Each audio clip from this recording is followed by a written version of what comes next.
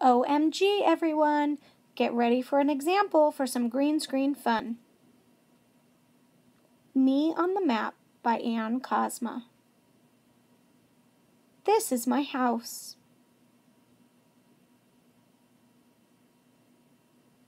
This is my street. This is my neighborhood. This is the city that I live in.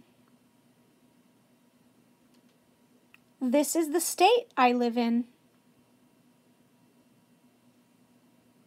This is the country I live in. This is the planet I live on. This is me on the map.